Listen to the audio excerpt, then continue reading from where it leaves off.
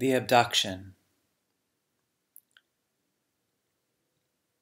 Some things I do not profess to understand, perhaps not wanting to, including whatever it was they did with you, or you with them, that timeless summer day when you stumbled out of the woods, distracted, with your white blouse torn and a bloodstain on your skirt.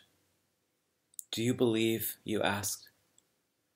Between us, through the years, from bits, from broken clues, we pieced enough together to make the story real.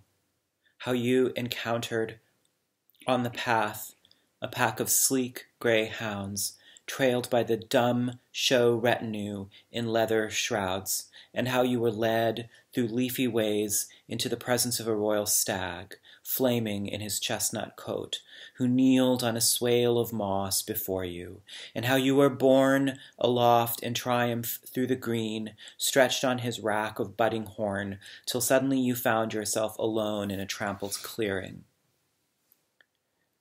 That was long ago, almost another age. But even now, when I hold you in my arms, I wonder where you are.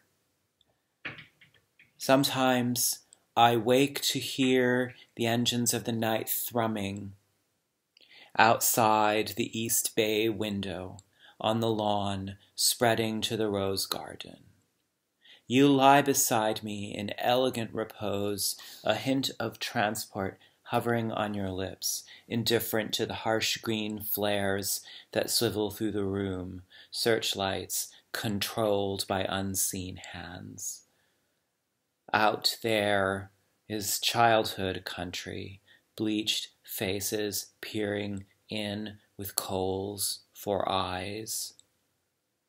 Our lives are spinning out from world to world.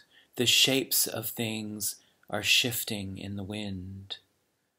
What do we know beyond the rapture and the dread?